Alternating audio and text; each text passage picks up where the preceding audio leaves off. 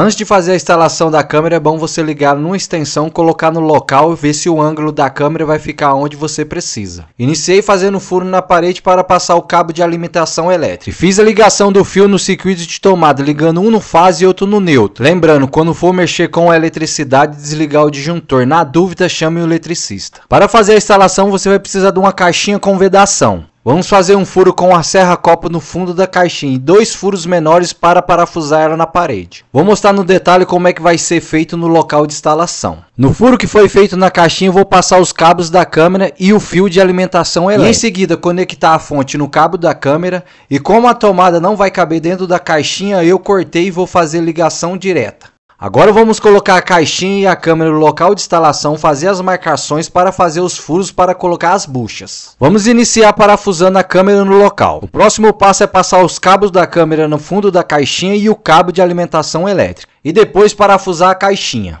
Agora vamos fazer a emenda dos fios da fonte junto aos fios da rede elétrica e isolar com fita isolante. Agora vamos conectar a fonte junto ao cabo da câmera. E para finalizar vamos colocar a tampa da caixinha, ela vem com a borracha de vedação. Câmera instalada, bora para mais um vídeo?